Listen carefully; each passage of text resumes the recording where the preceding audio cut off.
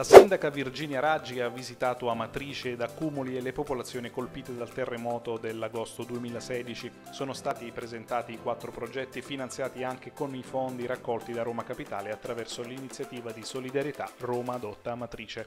Saranno realizzati ad Amatrice, Accumuli, Arquata del Tronto e Norcia libera dal Campidoglio alla promozione online di artigianato, manifatture e gastronomia locali. Con una vetrina sul web dedicata al Made in Room si punta a valorizzare, sostenere e incentivare lo sviluppo territoriale, creando un punto di incontro tra produttori e pubblico internazionale.